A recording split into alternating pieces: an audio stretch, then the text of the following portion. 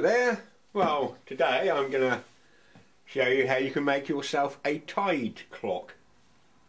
You can buy these, of course, but uh, any idiot can buy. Why not make your own? People throw out loads of clocks, quartz movement clocks, something like this. They usually work with a little battery, one half volt battery. You can pick these things up, junk sales, boot sales, 50p a pound and uh, are, most are quite suitable for turning into a into a um, tide tide clock. The uh, tides are governed primarily by the the moon and the moon's lunar cycle, and we need a clock that will keep a half a lunar day, which is 12 hours, 25 minutes and 14 seconds. So how can we do this? Well, you can buy the little quartz movements eBay for instance, they're under a pound. But when it comes to tide clock movements, which essentially are just running slower, they're considerably more. A little bit cheaper in the States, but uh, they're certainly not cheap here. And anyway, I'd prefer to make things. So, how do we do this? Um, well, it's relatively simple. First of all, we, we don't need the second hand. You can leave it if you wish, that will show the clock is working. We don't need the minute hand. If you design yourself a face, perhaps uh, points of the compass or something, there's a few designs at the end of this little video. Make up your own, take a picture, print it out on your printer and stick it to the face of the clock. Um, it can be any size you like, I'll leave that to you. Uh, so what are we looking for? Well, Here's a cheapo. Let's see if I can zoom into this. Hope this one's going to show it. Aha, yes, this is an ideal candidate. Uh, let's go in.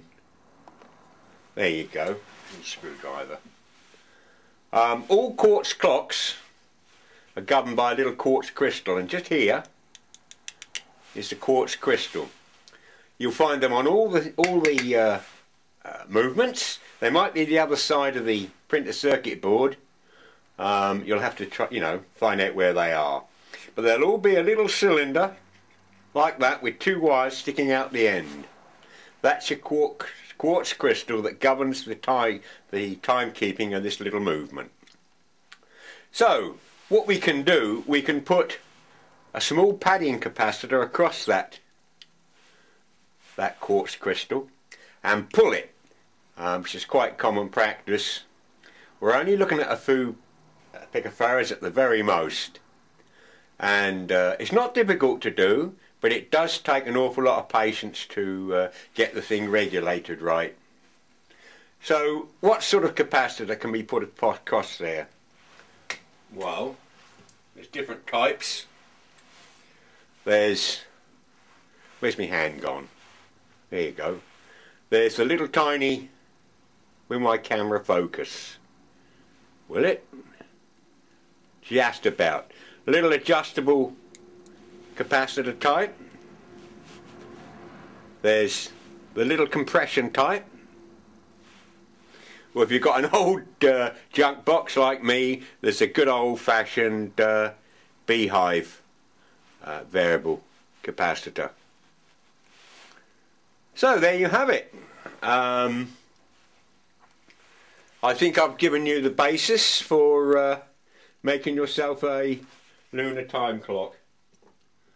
Um, they will require adjustments every month or so and um, it's it's a an average of time but uh, they'll be uh, pretty accurate and uh, you'll have the fun of saying you made it yourself.